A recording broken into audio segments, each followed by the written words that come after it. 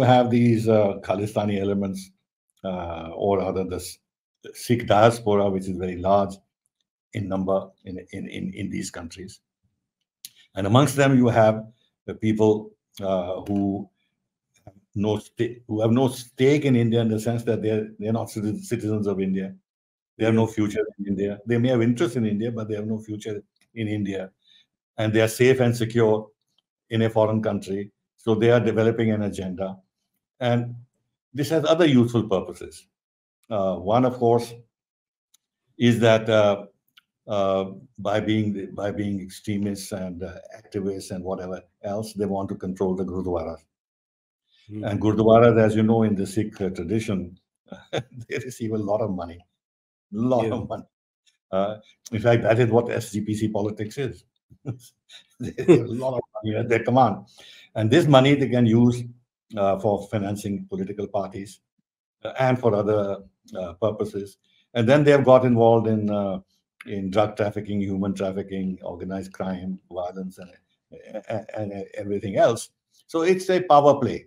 They want to control uh, the the Sikh community and be the be recognized as the as the leaders. In addition to what they think are the grievances of the Sikh community and.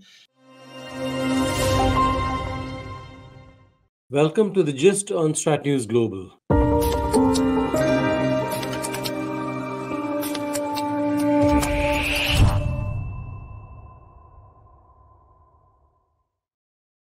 Good evening. I'm Surya Gangadharan. It's been nearly two weeks since uh, Justin Trudeau made those sensational allegations in the Canadian Parliament, uh, claiming that uh, there was an Indian role in the killing of Khalistani extremist Hardeep Nijjar. Uh, two weeks down the line, uh, nothing at all from, from him. In fact, it would appear that in some respects, uh, the Canadian Prime Minister has even backtracked. So let's try and figure out what's going on over there. I have with me Ambassador Kanwal Sibal, former Foreign Secretary, former Ambassador to France and Russia. Sir, good evening. Uh, glad to have you. My pleasure. So, what do you make of uh, the situation where, um, after all that song and dance and uh, fire and ice, uh, nothing further seems to have happened after that? Well, uh, you know, just before uh, uh, Jaishankar was to meet uh, Secretary Blinken, uh, Trudeau made a statement in uh, Ottawa that uh, he had asked the US Secretary of State to raise this matter with mm. India. So it's not as if he's letting go. The fact that he wanted to tell the Canadian press that he was following through and that he had asked the US Secretary of State to raise this matter means that uh, he uh, intends to go through with this because he's in a very difficult situation, which he has created for himself. Having said that in Parliament formally, he is now to prove and substantiate his allegations. Since uh, these are based on intelligence sources, and these intelligence uh, uh, sources are external to Canada, it's, uh, it's the United States, uh, obviously, that has provided some intelligence. Uh, he has to have the permission of the US to make such intelligence public or even to share it with us. And secondly, the nature of the elegance intelligence is such that you can give di different interpretations to what you may have heard. Mm -hmm. Intelligence is never uh, treated as evidence. It has to be turned into evidence. It has to be corroborated. And there are different levels of intelligence uh, in our own system. I'm aware, uh, at least at the time when I was in office, we grade the intelligence based on how reliable it is, how reliable uh, the source is, uh, and uh, how much conclusions you can reach uh, from the intelligence that you've gathered. Now, I read in the social media that uh, you know the United States intercepted some uh, communications between our diplomats. First of all, again, from my experience, I can say very categorically that no Indian diplomat will talk loosely like this uh, on telephone or or in other forms of communication between each other. Uh, first of all, diplomats are not involved in this kind of a thing. If it is done, it's done by the intelligence agencies, and uh, and and they know that they are being uh, monitored. Their surveillance, they're being listened into. And as we know from experience of uh, uh, Islamist groups and everything else, uh, the kind of channels they use for communicating uh, things, uh, which uh, are in code words. you have to, over a long period, monitor these communications and understand what those code words are. Uh, because if they are repeated, they know that this word actually means something else. Uh, but here in this case, it's quite clear that uh, before the event occurred, uh, Trudeau had no intelligence because it's only after three months or so that he came out with this, which means that uh, whoever provided this intelligence, it was a post facto affair. Uh, which means that uh, there was no uh, time to monitor this over a long period to understand what these communications are. Anyway, these are technical matters. The long yeah. and short is that uh, if he had, he, he knew this was intelligence or information, right or wrong. He knew he could not share it. Then why did he go to the floor of the house and say that uh, uh, we have uh, intelligence to the effect that uh, the the uh, we have credible allegations that uh, the Nijjar's death is potentially linked to the agents of the government of India. Um, now he's done that obviously for local political reasons, and we know what they are. He, he has a minority government in the last yeah. elections in 2021. Uh, he couldn't win a majority of seats, uh, and he's a man who's very much, uh, how should I say, avid for retaining power. Uh, and his father was prime minister, and uh, he became prime minister at a very young age. He's not going to let go of power, and he's dependent on Meet Singh, uh, the NDP leader, who has 25 seats in parliament. And Jagdeep, Jagdeep Singh himself is, high, is, I think, not wrongly suspected of Khalistani links. Uh, he is, in, if you like, the political face, the power face of the uh, Sikh community, not necessarily the Khalistani, but the Sikh community in, in, the, in the Canadian Parliament. And there are about 700,000 uh, Sikhs in about 15 constituencies. Their vote is absolutely crucial.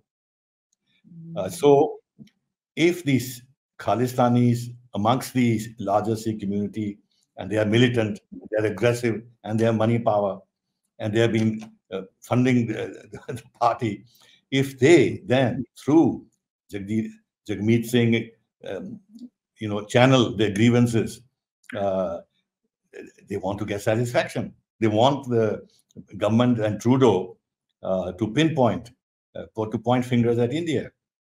And here it is interesting how the son of uh, of uh, Nijjar to the press. Now this is not hearsay. He has said that that he was in regular touch with the Canadian intelligence, CSIS, since February, meeting them, meeting them once or twice a week. In fact, he had a rendezvous with them two days after he, he was killed. What, what does this mean? Was he an agent of the uh, Canadian intelligence? Was it that through him, the Canadian intelligence was keeping tab on other groups? Because a lot of crime, organized crime, human trafficking, drug trafficking, and everything else. So there are wheels within wheels in this intelligence business right? Mm-hmm. So that is the reason why this issue uh, uh, has come uh, to uh, to the internet to international attention because of the folly of this very immature uh, juvenile politician called Justin Trudeau, who's not grown up, who's not learned any lessons from his 2018 trip to India, which was a disaster, and who doesn't seem to appreciate the importance of relationship with India in the new, new geopolitical uh, context, knowing fully well that the other countries in the Five Eyes, leave aside New Zealand, uh, have huge stakes in India, huge stakes in India, whether it is United States or Britain or Australia. And then if he raises a matter like this internationally, uh, there's bound to be uh, repercussions in terms of uh, managing ties between these three countries and India, because mm-hmm. they also can't. What I mean is the three countries that or the Five Eye countries, they also can't let go this, let go of this casually saying it's all right, it has happened. They can't. Yeah. Mm. Their own political position is at stake internationally and uh, domestically. And the importance here is that uh, Canada is such a dutiful and loyal ally of uh, United States. They have sacrificed so much in every war that United States has fought, they, including the Second World War. The Canadians have Yeah. been there. And therefore, they can't easily snub Canada or abandon Canada. And hence, to my mind, rather unfortunately, but this is this was logical in terms of the situation that friend Trudeau created, that both uh, the- Jake Sullivan, uh, as a national security advisor, uh, started talking down at us that India must uh, cooperate, that no Yeah. country has special exemption, and that there has to be uh, accountability, and that we have certain principles uh, which we must adhere to. And Blinken added to that that we are not only consulting with Canada, but we are coordinating with Canada, and that and there should be accountability and, and stuff like that.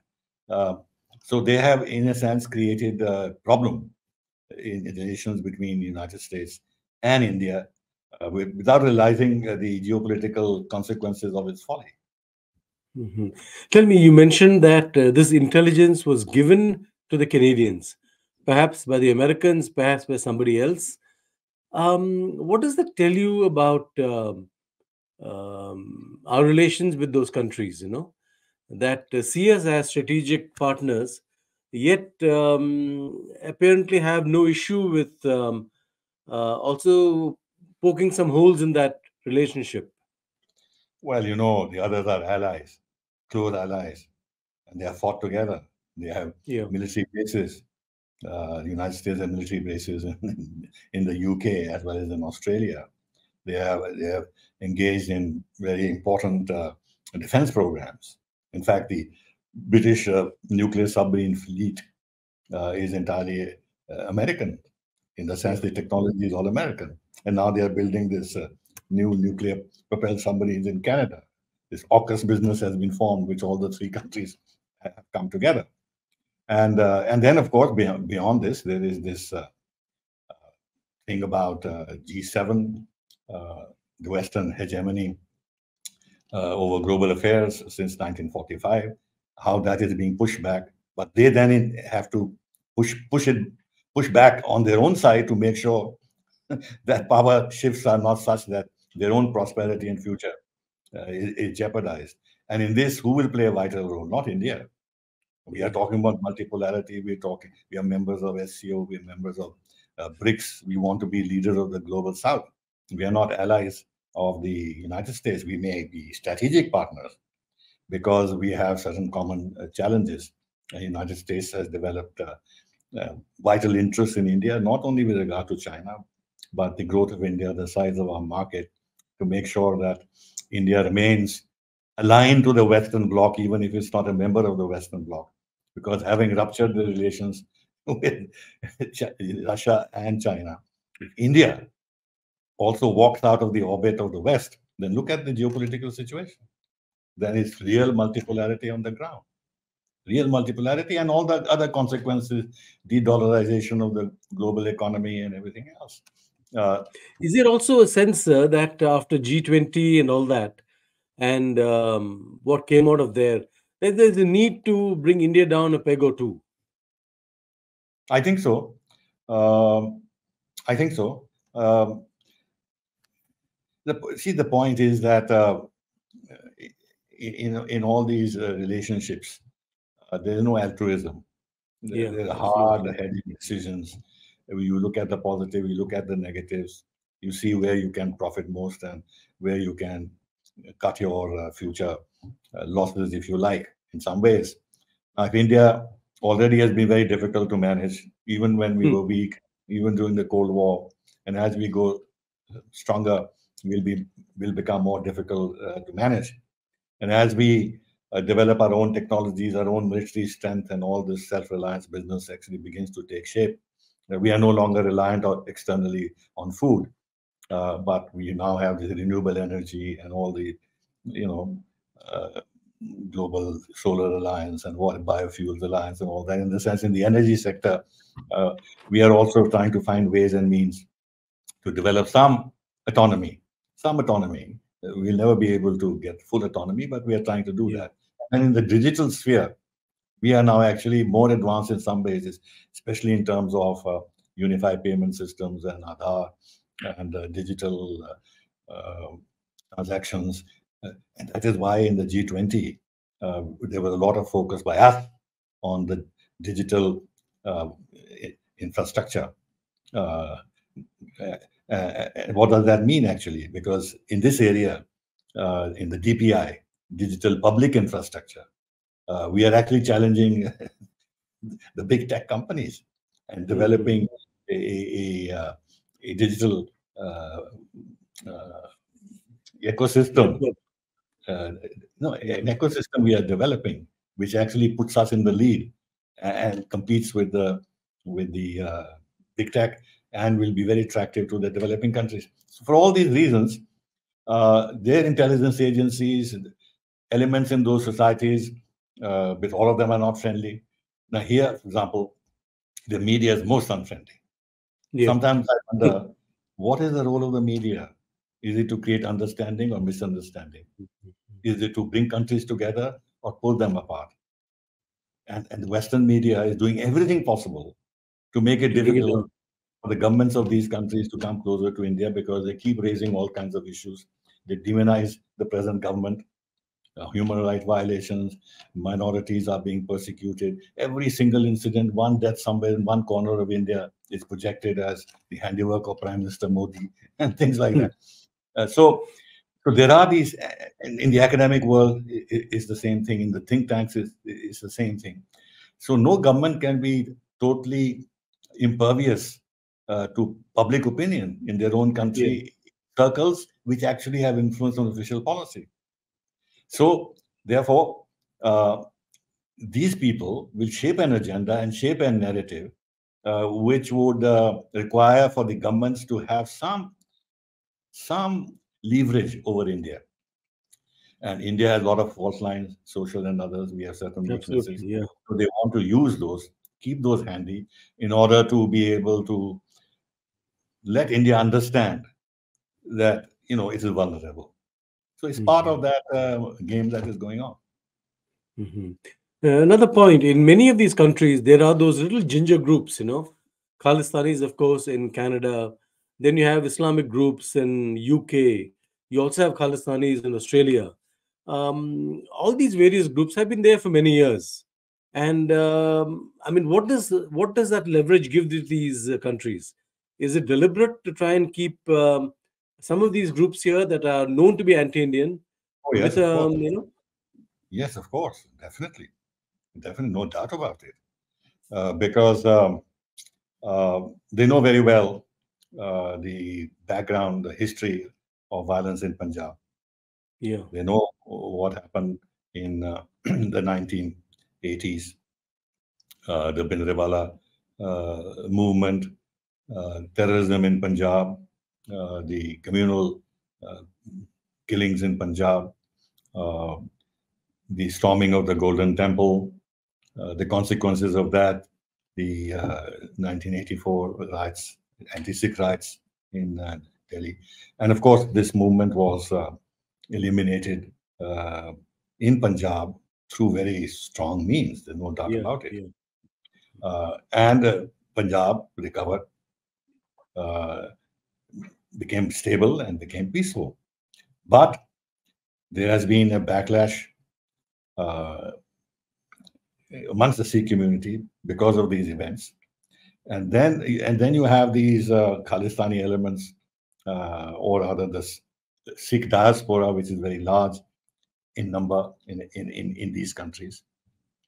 And amongst them, you have the people uh, who no who have no stake in India in the sense that they're they're not citizens of India. They have no future in India. They may have interest in India, but they have no future in India, and they are safe and secure in a foreign country. So they are developing an agenda, and this has other useful purposes. Uh, one, of course, is that uh, uh, by being by being extremists and uh, activists and whatever else, they want to control the gurudwaras. Mm-hmm. And Gurdwaras, as you know, in the Sikh tradition, they receive a lot of money, a lot yeah. of money. Uh, in fact, that is what SGPC politics is. they have a lot of money at their command. And this money they can use uh, for financing political parties uh, and for other uh, purposes. And then they have got involved in uh, in drug trafficking, human trafficking, organized crime, violence, and, and, and everything else. So it's a power play. They want to control uh, the the Sikh community and be the be recognized as the as the leaders. In addition to what they think are the grievances of the Sikh community, and behind that, and then there's another reason that if they keep this thing sort of alive and this narrative of Sikhs being persecuted and human rights violations, this and that, then they can get more and more people coming in as refugees and asylum seekers and everything else. So mm-hmm. that also uh, helps them. And so far as the, these countries are concerned, since the Khalistanis don't target them, there is no local yeah. terrorism. Uh, so they don't take it seriously, unlike Islamic terrorism, which targets them. Mm-hmm. So here, this, and then of course the feeling is, oh, you know, this is sort of an Indian affair. Uh, yeah. Between the Sikhs in, in these countries and uh, the government of India or Sikhs in Punjab, it's not really related uh, to us. So they take a very lackadaisical, permissive view of, of, everything. But in the case of Canada, this is utterly shameful because they should recall what happened in 1985, the yeah. downing of Air India plane, uh, 329, uh, mostly Canadian citizens killed. But again, since they were Canadian Sikhs, uh, largely or mostly, uh, I think I suppose they feel that they were not white Canadians, so it, it doesn't matter. That's why there was no proper inquiry. Yeah. No mm. proper inquiry. It took them 20 years uh, to do some inquiry. Uh, and ultimately, they they uh, jailed only one person, this Reyat fellow. yeah. Does this politics, uh, the Gurdwara politics you mentioned, is it also playing out in Australia? Just to complete this, and I'll answer this question. Yeah. In yeah. Britain, in Britain, it's the same thing, and in Britain, it is even uh, even in a sense, uh, it is uh, the political uh, view of the Sikh community is colored by the historical experience of the British, uh, of the Sikh community, the martial race. Yeah. Uh, they largely dominated uh, from the Indian side, the Indian army. They served British interests very well. They fought for Britain in the First World War and the Second World War. And Britain was instrumental in uh, creating a communal divide between Hindus and Sikhs, separating them by telling the Sikhs you are not Hindus and set up this SGPC and everything else, uh, stuff like that. Uh, so they feel that uh, they owe to the Sikhs. The Sikhs have been loyal to them. Uh, and, and then, of course, there are these uh, you know, people with imperialist nostalgia in Britain and if India becomes a bigger economy than Britain, I don't think it pleases anybody. Uh, though, of course, picture is mixed because they have an Indian origin prime minister. Yeah. but, but, but, they want to keep this uh, handle uh, their agencies against India if and when uh, it is uh, necessary uh, to put some pressure on India, which is why they reject our efforts to prevent them from having these demonstrations. They continue to have them against our mission. The only concession they have made is that instead of allowing the demonstrators to come actually on the pavement on which the mission is located, they, they now ask them to do these demonstrations across the road on the pavement on the other side. Mm-hmm. ridiculous. Anyway, uh, are we also are we also a little guilty of um, overhyping this, such uh, demonstrations, attacks? No, no, no, no, no. No, we have suffered. Punjab has suffered. We've seen how a small minority can devastate the state. Yeah. And uh, the Punjab is a border state. Pakistan is very active even now. You've seen how they're sending drones with arms and drugs and everything else. And they have, and they actually are giving shelter to, no, I forget the name. There's so many of these extremist Sikh organizations, Babbar Khalsa, whatever it is. Yeah. Their leaders are in, in, in Pakistan. So the Pakistan uh, angle in all this is well known uh, to us and to the and to these countries, the Five Eye countries. They know this. And they know that in the demonstrations in the UK, that there is an ISI hand. But they allow this because it, it suits their interests. It suits their interests. They, they are they have become very permissive also. Uh, and they talk about uh, freedom of speech and right to peaceful protests and this and that. And then they see that there is no retaliation by the Indian side. If we had demonstrations like this against the British High Commission, uh, or if some US consulate was also like in San Francisco, something happened, then they'll wake up. But on our side, we are a law-abiding country, which uh, assume our responsibilities uh, with regard to the Vienna Convention, security of diplomatic uh, premises. We've done nothing against the Canadian High Commission uh, because it's not government policy, and rightly so. But th they know that there is no retaliation, uh, so they can they can disregard our representations. So what you're saying is that if tomorrow there was a demonstration, perhaps against the Canadian High Commission or an attempt to storm it, um, matters would begin changing over there. Yes. Yes. Yes. Yes. Hmm. I won't recommend that, but uh, but uh, if the public got so wrought up, and uh, they did this, and uh, like in the case of our consulate in Vancouver or somewhere else, it was firebombed or something or smoke bomb, and if something like that happened, they'll have to sit up and say this can't go on. They'll make representations to us, won't they? And then True. won't we come back and say that, look, what are you doing on your side? There has to be reciprocity. We assume our obligations, but you please assume your obligations too. Hmm. Uh, so it is cost free uh, to them uh, relatively, uh, and which is why they're not serious about uh, addressing it. But now, after what had happened, despite uh, the rhetoric of this juvenile prime minister, not only they, but the other countries would have to take our concerns seriously. They know that India is refusing to be bullied. We have reacted very strongly. We have talked about Canada as a safe haven of terrorists and organized crime and tra drug trafficking. We have used a language which we normally reserve for Pakistan. And here's a G7 Western country which talks of itself as a democracy and or human rights and all that stuff, and we're treating it as a semi-terror state. Now, this message uh, it will be absorbed by uh, by other countries that they have to address India, India's concerns seriously. What would it take for all these kind of activities in those countries to stop? What would it take? What would India have to do? Grow bigger? Well, uh, yes and no. You know, we'd continue to be attacked. Look at China; they've grown bigger. yeah, yeah. Largest economy in the world, the biggest exporter in the world, control all kinds of critical raw materials, taken a lead over the West in, in certain critical areas, uh, uh, communication technology, uh, electrical vehicles, and this and that.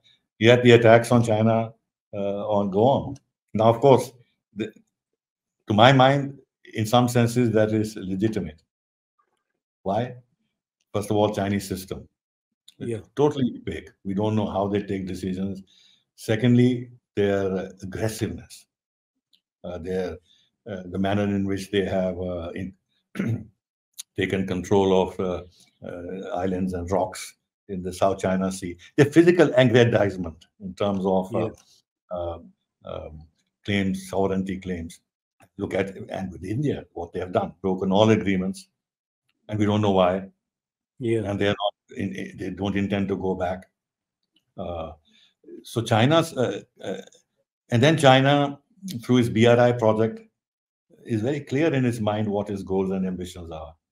Uh, to be at the center stage of global uh, governance by 2049 uh, or 20, 2049. and they, so they made their ambitions, geopolitical ambitions, clear to counter the United States and become a countervailing power. In other words, establish a G2 kind of a thing. Now, we are not challenging uh, the, the, United States uh, yeah. or, or, or, the G7. we, we want to work with them. We want to work with them. We are a democratic country. We are not uh, making territory grabs anywhere else. We only want to protect the territory we have. So we are not challenging. We want the global, we're not challenging the global system in terms of wrecking it. We are only challenging it in terms of making it more democratic and equitable. Yeah. Where the West continues to be, uh, to, to play its uh, role, but others should also have a say and also Yeah. play their role so that is a better balance. That's all we want. So in, in that background, uh, I think there's a big distinction between India and China. But but at the end of the day, the Anglosphere and the uh, and these countries which have dominated the globe for so long, they're not easily going to give up their hegemony and their power within the system. And they look at any challenge, even if it is democratic, as a challenge where they will not want to confront India uh, beyond a certain point, but also have some leverages uh, vis-a-vis vis-a-vis India, which which which then uh, tells the Indian decision makers that uh, beyond a certain point, they also can't go to challenge the West. Yeah. Well, that's the state of the world order, and I suppose as India grows, that uh, the insecurities on that side may even deepen. Um, no actually, hard I've solutions there. never, I've never accepted the term global order. It's always been global disorder, but the degrees of disorder uh, has varied. Yeah. Now, f- look at our own example. When first of all, leave aside the colonial era and the whole decolonization uh, uh, process. Uh, we, as a democratic country, which we were right from the start, we are the most sanctioned democratic country in the world, and by whom? Yeah. By the United States of America. yeah. 2005. So uh, then they, before that, supported Pakistan, armed Pakistan. They let China uh, pass on nuclear technology. I don't think it was only a China affair. It was also the hand of the West, and I won't mention countries. And then, of course, interfering in the Kashmir issue, trying to Yeah. mediate, uh, making it difficult for us uh, in so many ways. And on the human rights issue, targeting us, which they still continue continue to do. Uh, this narrative that the West has developed uh, against India, uh, from our point of view, is this a global order or is a, it's a global disorder? Yeah. uh, from our point of view and from the point of view of developing countries in general. Now, look at the Ukraine conflict. If you're talking of the global order, uh, now we have nothing to do with the Ukraine conflict, and the Yeah. developing countries have nothing to do with it. It's a purely a European conflict, which is anchored in the whole issue of the failure of Europe to develop a European security architecture. Yeah. The only answer has been expansion of NATO, expansion of EU, and that has led them to what the situation is today. Yeah. And in Ukraine, both these things, expansion of EU and expansion of NATO, have, have become the casus belli, if you like. But the consequence of that, disruption of energy supplies, disruption of food supplies, fertilizer supplies, and everything else, uh, all of us are suffering. In what way this is consistent with the rules-based order or global-based order? It is another form of global disorder. Anyway, Mhm. this is what my. So whether India is a partner or an ally or whatever, the uh, West will continue to test and tease us uh, as we go forward. Ambassador Yes. uh, pleasure talking to you. Thank you very much for that perspective. Up to a point. Up to a point. Up Yeah, to a to a point. Thank you very much, sir. My pleasure. Bye bye. And for those of you who joined us on this conversation, do subscribe to our YouTube channel, follow us on social media. Thank you very much. Good night.